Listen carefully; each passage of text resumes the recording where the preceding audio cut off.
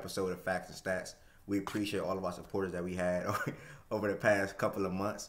We are now on episode 26. If this is your first time watching, feel free to like, comment, but most importantly, subscribe and give us all feedback on how you think our previous episodes are, but most importantly, how this episode is. We got a lot of hot things to talk to you all about. We have the usual host on the show, me, Everett, King, Marcus, and Q. And we're just here to give y'all great content and our sports thoughts and our facts and stats today.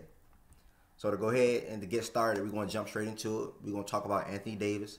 Big shot last night, game winner over Marcus Mann, Nikola Jokic, and the Lakers take a 2-0 series lead. So before we talk about that game, I got a question for y'all. Do y'all think Anthony Davis is LeBron's best teammate ever? Yeah. That was you, Q? Yeah, that was me. Yeah. Best teammate ever. Elaborate. Um well, Anthony Davis is LeBron's only teammate that could pick up the load for him offensively and huh? like hold no, no, no and and hold the load defensively. So do both at the same time. I know D Wade, D Wade, he was LeBron's, you know, second man, and he was able to hold it down, and Chris Bosh and Chris Bosh offensively, but neither of them have the defensive impact that Anthony Davis has from the perimeter and inside the paint. You know, he and then he he hitting big shots, he's scoring, he's scoring, he has a face-up game. It's just it's so many, so many different aspects to Anthony Davis's game that that his that LeBron's other teammates didn't have. And I feel like I feel like it's another step that Anthony Davis can hit within the next hold on. year. okay, hold on, hold on, hold on. I, hold on, hold on, hold on. It's a lot of things that Anthony Davis has that LeBron, other star teammates that he played with, didn't have. That's what you just said, correct? Yeah. Like what? Besides Being rim able- protection, like what? For protection, being able to uh the pick and roll game between AD and LeBron. Um Kyrie and AD, Kyrie and LeBron pick and roll game was pretty good, if you ask me. I don't think it's better than Anthony Davis because Anthony Davis is just this man. This man touch around the rim is just crazy, and the fact that he could do all that around the rim and put some work in on the perimeter. Okay. Well, Mark, talk to me. Who you think is the LeBron best teammate ever? His best teammate ever will probably be D Wade. Yeah, I'm gonna go with D Wade just because D Wade showed him a lot of things on and off the court. Um, they made him a better player. You know what I'm saying? Uh, uh, offensive wise, D Wade can do his thing. Uh, defense, D Wade can do his thing. I, I feel like him him together with LeBron was just too much for a lot of a lot of teams. So I'm gonna go with D Wade. Respect. King, talk to me. Of course, it's D Wade. Like D Wade definitely got a championship before you know Bron got there. Just like Mark said, he helped him get over get over the hump, Mhm. taught him some things or whatever. Like because he been there before, Mhm. and you got to think about it. D Wade is arguably number three shooting guard all time, if you want to argue that. Mhm. Like prime D Wade was nothing to play with. At all. Offensively, defensively, D Wade was that man. So yeah, that's what I'm going with. It's no debate with me. It, it, it, But see, the thing with D Wade, D Wade in the playoffs, other than the first season,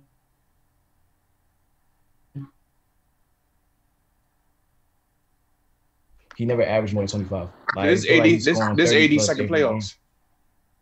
Yeah. AD, I mean, D Wade ain't even D Wade ain't even do it. Besides that first year in Miami, But yeah, averaged Yeah. twenty five point five. AD is giving you like close to thirty and ten.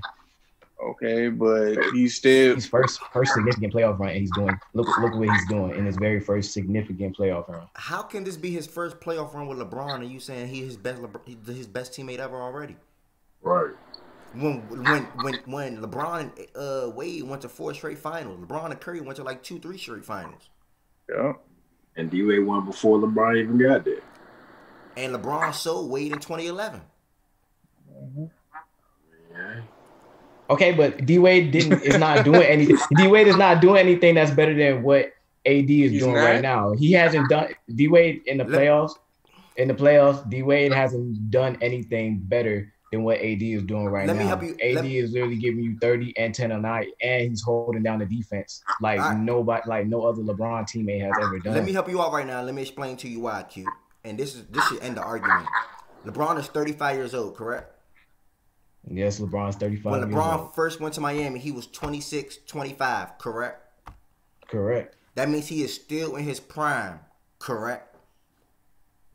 I mean, LeBron. LeBron is never really 35. He's 35 right now. AD's like 27, 28. He knows LeBron AD's prime never really stopped.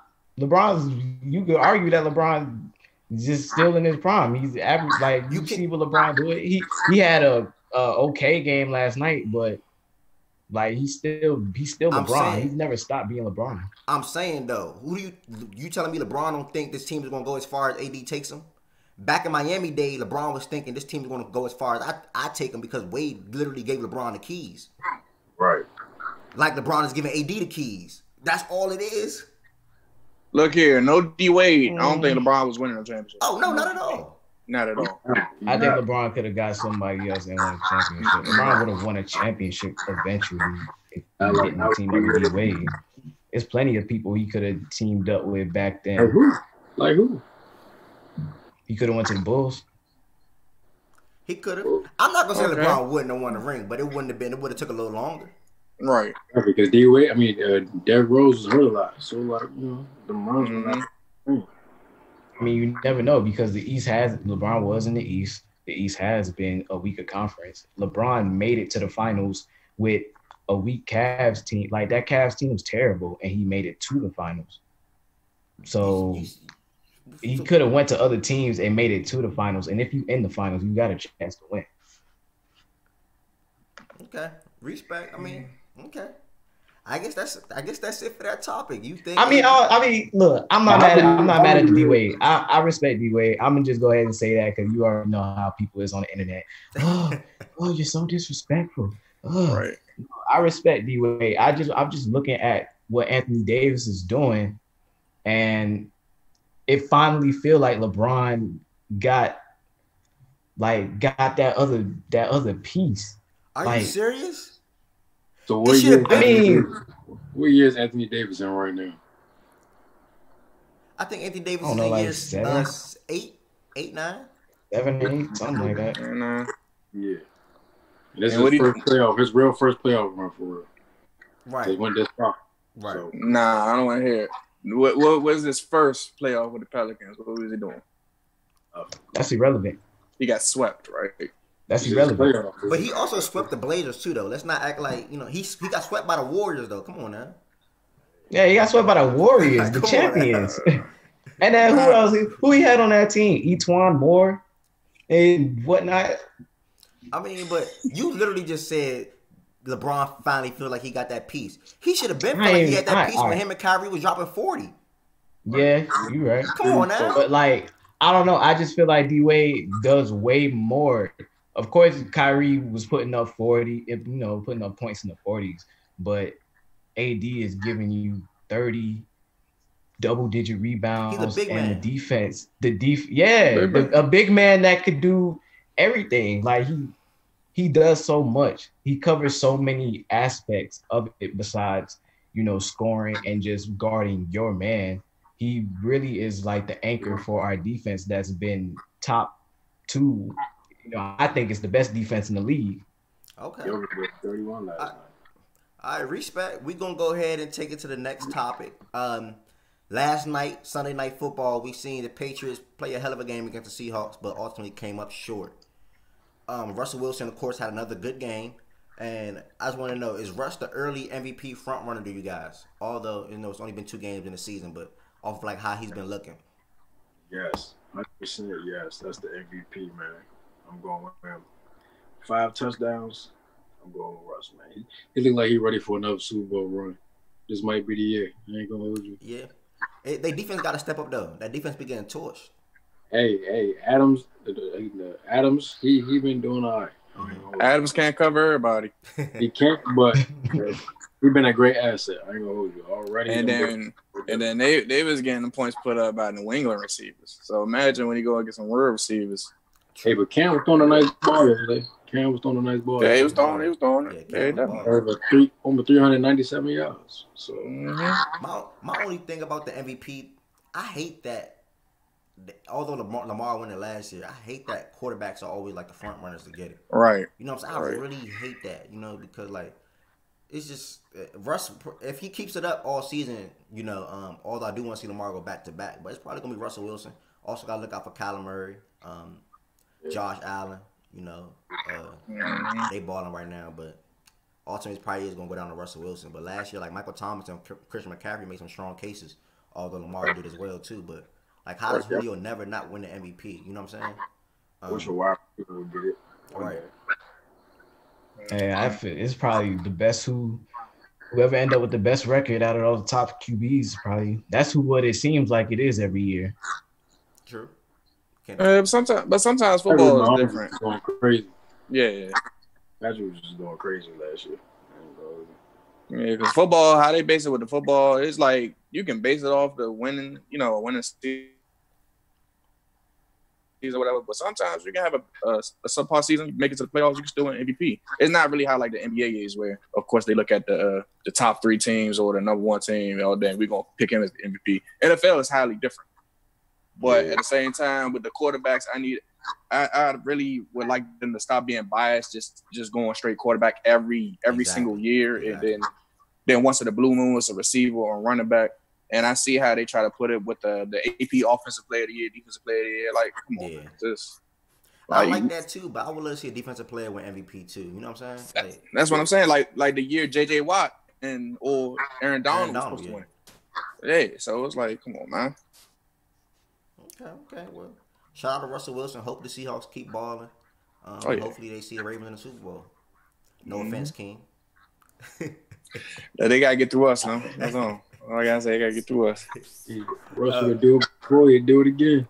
That's a the next topic, the Giants. Um, heart crushing. Wait, real quick, real quick, real quick. Before you go to the next topic, I just want, like, I just pulled it up. I'm looking, and the last, the last like non quarterback to win MVP, I think, was back in 06 with LaDainian Tomlinson on the Chargers, which that's that's crazy. That was a hell of a year too. Yeah, it was hell of a year. But it's crazy, like to like further like add to your point. It's crazy Wait. how they really like go to a quarterback every. No, no, no. I lied. I lied. And Yeah, Adrian Peterson. Yeah, Yeah, went in Adrian 2012. I lied. Mhm. But yeah, that's that's like what like eight years ago. Mhm. So Yeah, 2012. yeah.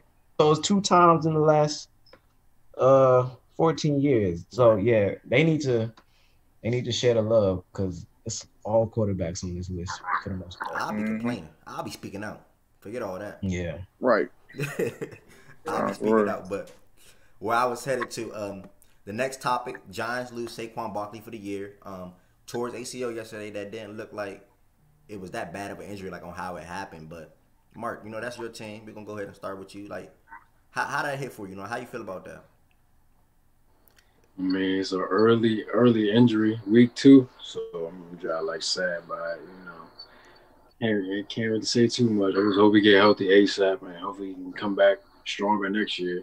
So tank Uh, season. Sterling yeah, Sterling Shepard hurt his uh, foot too, so it's we're going down pretty early. I don't really, I don't feel So pretty much you just embracing the tank this year. I guess so. We might as well get I'm about to say. find another wide receiver or something. I don't know. Respect, respect. Um, King Q, any thoughts on that? Go ahead, Q. Uh, I mean, outside of don't, Saquon I too. don't, I, mean, I don't outs- like I don't like how this is going down because it's too many injuries. I was just about to say, outside of Saquon too, we can speak on a lot of other uh, things that happened on week two. You know, we seen McCaffrey get hurt, uh, Courtland Sutton, Nick, uh, Nick Bosa. You know, it's just Um, week two was a very, very bad week in the NFL, um, and that brings us to our next topic: um, NFL Week Two thoughts. What's some of y'all thoughts on Week Two? You know, like games that made y'all most happy. Um, upsets that surprise any upsets probably in your opinion that surprised you. Things or just any any injuries in general. Hey man, Cowboys just need to go pay Dak. That's all I gotta say. Go ahead, pay Dak. I like that. I like that. I like that. it felt good for you to see you even to see you even come out and say that because like that was a hell of a game right there. Like he showed tremendous fight, effort, and he got the job done. Yeah, go ahead pay that man, bro. Cause he didn't lost too much in his life. You got you gotta pray that man. Mhm. So I hear that. I ain't the one to be like, yeah, you know, if somebody lose their job or whatever. But Dan Quinn, you, like, it's, it's too many times where you just blow a twenty point lead, like you gotta go. And you gotta go. So I'm like, it's the same thing every time, bro. I'm like, how you up that much and you just blow it? Uh, like, how did that happen? Julio. It's feed Julio. I don't understand. why- No, not, V- Julio hamstring was bothering him, so he was already out the game. Really. Mhm. But it's like you keep running the ball. So I'm like, you let that D line scare you out of running the ball, where- which like running the ball is what got you up that much. So and then pass to of course, of course, uh, Calvin Ridley. Yeah, but really, yeah. I think it really hurt him with Julio because like the hamstring bothered him, and plus he couldn't be the decoy for real as much. Because now, all right, he barely playing, so we're gonna officially lock in on Calvin Ridley, like it ain't nothing. And then you just keep forcing the ball, like you keep putting the ball in Matt Ryan's hands. I'm like, you know, Matt Ryan not built for that. Like he get all you all them yards when it come down to crunch time in that fourth quarter, yeah, he folds all the time. And then as far as like who surprised me, of course, you know, I gotta represent my boy Aaron Jones. You know, 200, 200 all-purpose yards, uh, like two, three touchdowns. yeah, I think he had three in total. Yeah, three in total, three in total, man. You know, he surprised me, son. You know, he he, he leading Russia. He, I know it's week two, but he, he leading Russia, man. That he gonna he gonna show this season why he might be the top three running back since you know Saquon out and Christian, even though he's my fantasy team, I hope he get better and all that. You know, he, he gonna he gonna show y'all why he in the top three, man. Okay, okay. So Mm-hmm. if you think he's top three, where would he be though? Like who would be that top two with him? I was about to say, of course, Zeke number one. Yeah, I put Zeke number one. Uh, number two, but you could put CMC, Okay. and then I I, I put AJ. I, I I put AJ in three. Man. Right there. Okay. I respect that. I that. put AJ in three. That's man. over some dogs. That's over Kamara. That's over some dogs. But but I always said though, because you know, like his first couple seasons, you know, riddled with injuries. But I said healthy, he is going to be a monster. yeah. And with Mike year, too. McCarthy, yeah, Mike McCarthy ain't know how to use him for real. So when LaFleur came in, he said, "I'm gonna come in and base his offense around you." And he's been shining since, and, he, and he's gonna go up from here. Okay. Q, talk to me. NFL, NFL Week Two thoughts. Um, yeah, man, my uh my Cardinals still undefeated, two and zero. It feels good. Like, man.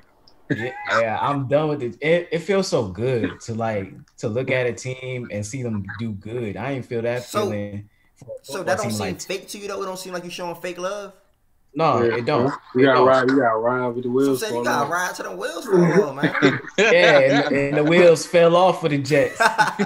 So, like I wouldn't like I'd stay if they had some type of direction or anything or showed any type of progress. They tried. like year after year. They signed. They signed it's Le'Veon like- Bell. They signed C.J. Mosley. They tried. But bro, it's, it's, yeah, not, but it's that. just like we still like we still end up sucking every single time. It's like we take a step forward and take three steps back. Like why every coach we get is a bozo? Why they why why one second we got you know a good looking defense and then the next year we just end up losing all the pieces and now we even worse. It's just it's no it's no